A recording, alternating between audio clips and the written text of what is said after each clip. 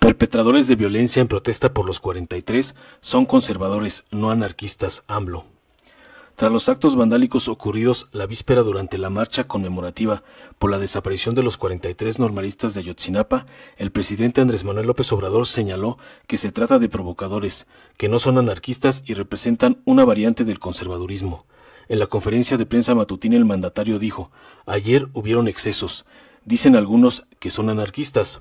No, el anarquismo es un movimiento muy profundo en ideales, propositivo, no es anarquismo lo de ayer. Ahora sí, que lo diga mi dedito, esa es una variante del conservadurismo. Agregó, ¿Cómo van a ser anarquistas los que destruyen una librería? Eso no tiene que ver nada con el movimiento de izquierda, con el movimiento progresista. Eso corresponde más con otras expresiones.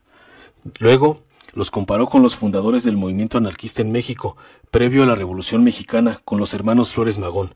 Imagínense Ricardo Flores Magón en un tiempo que asuma el anarquismo con muchos otros. Es un hombre con ideales, que casi se volvió ciego de tanto leer. ¿Qué van a ser anarquistas esos que quieren quemar una librería? Es una variable del conservadurismo. No son radicales tampoco, lanzó. López Obrador también criticó a quienes piden que se reprima a los provocadores en las manifestaciones pacíficas. Siempre hay estos provocadores. Hay que ver quiénes. Otra variante del conservadurismo grita como pregoneros que hay que usar la mano dura. Lo que considero es que debe hacerse valer la legalidad.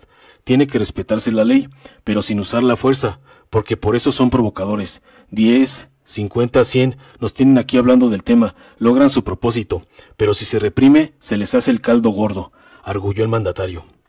A decir del presidente, los que participan en estos actos se portan mal y no tienen el respaldo de los ciudadanos.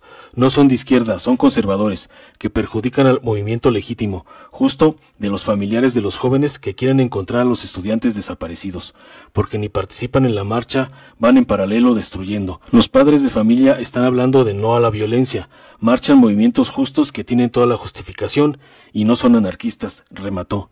Informó Mister Político, nos vemos el siguiente video.